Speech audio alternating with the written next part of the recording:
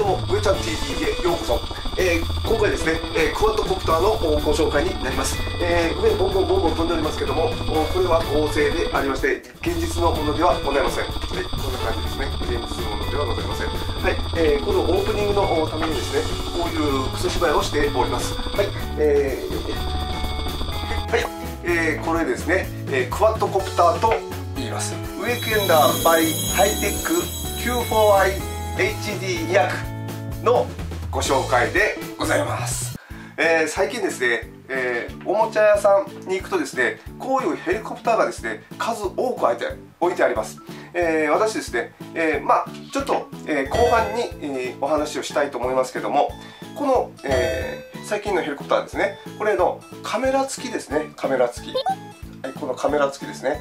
はいこのカメラ付きのヘリコプターがどうしても必要でなりまして、えー、後半にお話します。3種類ですね。3種類。もうこれは買ってるんですけども3種類の中からあこの、えー、Q4i を選びました。ということで、えー、どんな風にしてですね、えー、この、えー、Q4i を選んだのかということを皆さんにご紹介していきたいと思います。まずですね、えー、一つ。まず一つ。ギャラクシービジターですね、えー、これあります。これですね、えー、出てきたと思いますけども、えー、ギャラクシービジターですね、えー、これが一つですね、えー、これが候補として上がりました。こっち置いておきましょうか。はい。それともう一つ。シマ X5C エクスプローラー2.4ギガですね、えー、4ちゃんの RC のクワードコプターになります。はいこちら置きます。そして 4QI ですね。4QI が2つ。ですね。はい、まずですね、えー、内容ですね、えー、ギャラクシービジターですね、えー、これがですね、えー、特徴的に、えー、機体が機体がどこを向いてもですね、えー、レバー一つでまっすぐ進む、えー、ヘッドロック機能というのがついております。それとボタン一つで手元に返ってくるカンバック機能っていうのがついています、えー、それとですね、えー、送信機のこう動かすとですね下あの本体もですねこう動く、えーフォローミー機能というのがついております。複数のフライト可能ということですね。2.4GHz 複数の、うん、まあ何台でもですね同時にフライトができる仕様となっています。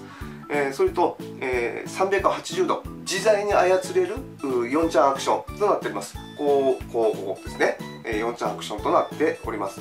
それと買ってすぐ遊べる RTF セットも全部ついてるっていうやつですね。それとですね、えー、先ほど言ってたカメラですね。カメラがですねメガピクセルカメラ100万画像がついております。お操作距離ですね。操作距離がですね 120m あります。120m じゃ結構ありますよね。はい。それと SD カード 2GB が付属をしております。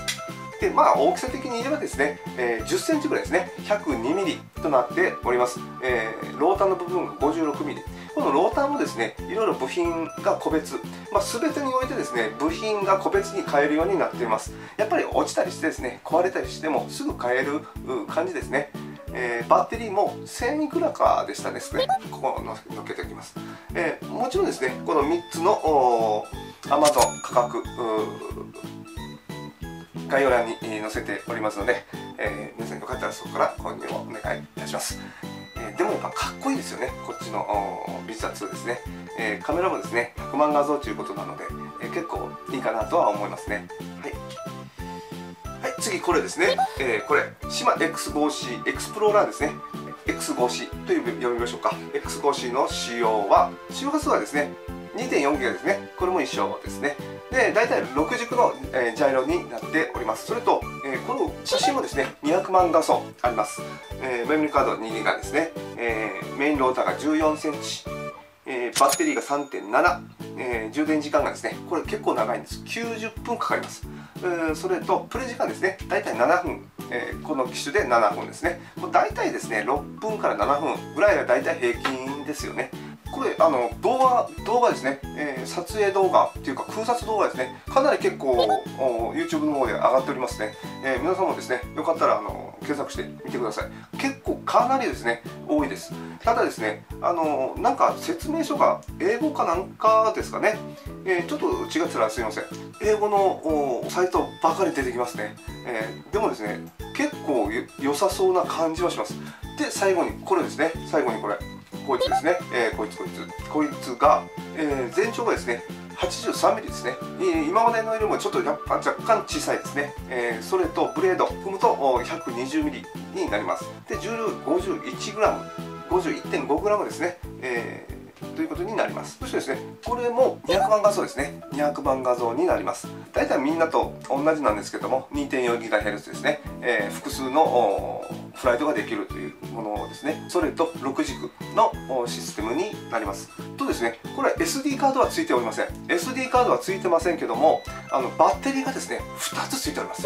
このバッテリー2つはやっぱちょっとやっぱりいいですよね。バッテリー2つということは7分ぐらいが2 14分ですね、えー、飛ばすことができます、えー、これはやっぱお得ですね。はい。大体もうあのマイクロ SD カードですか？あのスマホののあの機種変更した後のやつとかですね、えー、Android 携帯とか。そういうのやったらですね2ギガの SD カードついたりしてますのでそれのをですねこう代用で使ったりですねすることができますので、えー、SD カードよりもこのバッテリーバッテリーが2つついてるっていうのはやっぱものすごく良かったですね。はい、ということで本当に3つの選んだんですけども一番惹かれたのはですね Galaxy Visitor 2ですね、えー、Galaxy Visitor 2それとこれの Q4i ですね。Q4i これどっちかで悩みました。性能はですね断然こっちがいいです。性能は断然こっちがいいです。でも1万1000します。で性能はこれほどほどにいいです。で9000いくらかですね。になります。ギャラクシービジター何がいいかと言いますと機能の多さですね。どこを向いてもレバー一つでクンと向くヘッドロック機能ですね。ヘッドロック機能ですよ。こうこんなヘッドロック機能です。よこれがついてますよね。そしてボタン一つで戻ってくるんです。この機能ですね。それとフォロメイン機能こう押しプロポをこう動かすとこいつもこう動くというものですね。これは別にそのないんですけどもこの2つですね。ヘッドロック機能とカンバック機能。これがやっぱいいなと思いましたね。そしてカメラもですね少し下に向いてるんですよね。これちょっと見てください。これちょっと下に向いてるでしょ。ということは下が取れるんですよね。これはですね横なんです。これ見てください。横。えっとこう。ちょっと見にくいな。こうこう。わかります？わかります？真横なんです真横がカメラ向いてるんです。これはちょっと下ちょっと若干少し下向いてるんですよ。これがいいなと思ったんですね。Q4i の方はえー、まあバッテリーですか。それとこのフォルムですね。フォルムがまあおもちゃっぽいというかなんていうか うん、こんな感じですよね。はい。それと200万画素ですね。こっちのビジター2は100万画像なんですこれは200万画像なんです。映像ですね。映像を見ました。ジェット大輔さんっていう YouTuber の人がおられるんですけどもその人の、まあ、こっち下に書いてきますね、えー、リンクこっち貼っておきます。でこのリンクでポンと飛んでいただくと分かるんですけども映像をですね比べて、えー、出されております。それを見るとですねあのやっぱり200万画像の方はえー、画素数が多いので、えー、綺麗かなと思ったんですけどもあんまり変わらないらしいです。ただ色が綺麗らしいです。とっても色が綺麗になってるそうですね。ということで、えー、最後にですね息子にどっちがいいか聞きましたところ結局それかいと。結局それかいと。まあ息子がこれ飛ばしますからね。どっちがいいかと聞いてみますとこれと。いうことになりました。あいろいろ調べたんですけどね。結局そういうことですよね。はい。えー、まあいいかなと思いましたね。あの一長一短ありますよね。一長一短で分かります？一長一短あります。あのいいとこもあれば悪いとこもあります。でこれのいいとこといえばバッテリーが2つ。それと画素数がでかい倍あるということですね。ということでこちらに決めました。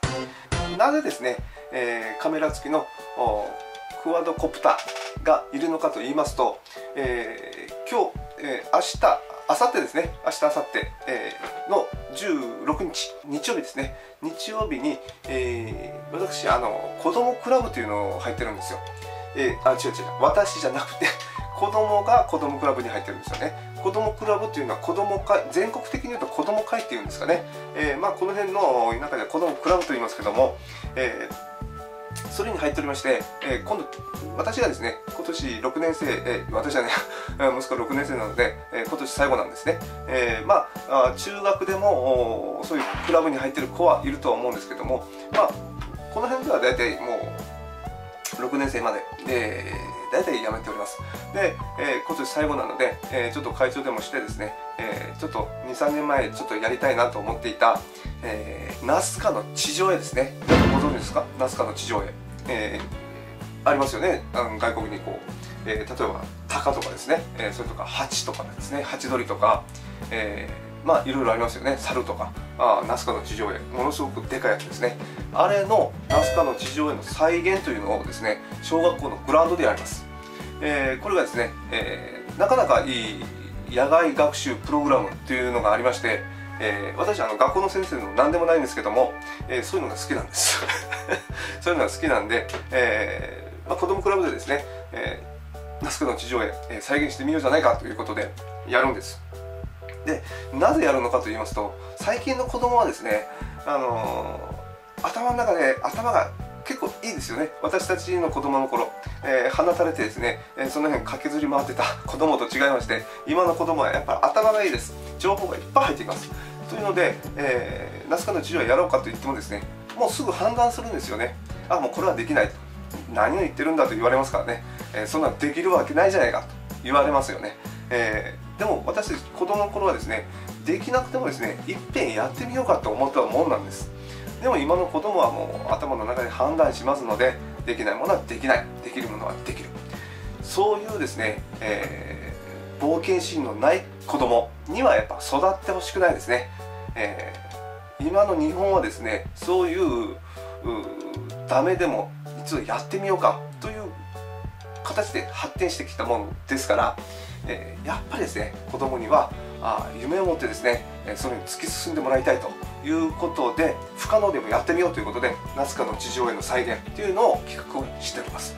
それでですねやっぱり上から見たいじゃないですか。でしょう。これはやっぱり上から見たいです。もちろんですね体育館の2階からは見ます。見ますけどやっぱ上から見たいですよね。これヘリで見たいです。でテレビ局とかにもお願いしたんですけどもこのナスカの地上絵のデザインをですね今流行りの妖怪ウォッチこのジバニャンですね。このジバニャンにしたんですよ。こんな感じポン。これですね。こんな感じでやっております。いいですか？はいグラウンドでこんな風にします。こんな風にします。でこれやっぱり見たいですよね。上から見たいです。ですのでこいつです。こいつで行って映すと。でこれ動画が撮れますからね。200万画素の動画。動画が撮れますからこれで見ると。まあ降りてきて SD カード抜いてパソコンに入れて再生ということですね。ということで、えー、ウィークエンダーの Q4i のクワドコプターの購入のご紹介でした。とと終わりじゃないです。次回次回はですねえー、これの撮った映像ですね、えー、をお見せしたいと思います。それらはですねもう映像だけです。映像だけ見せますので、えー、私のあの汚い顔は見なくていいので、えそちら見てください。ということでじゃあね。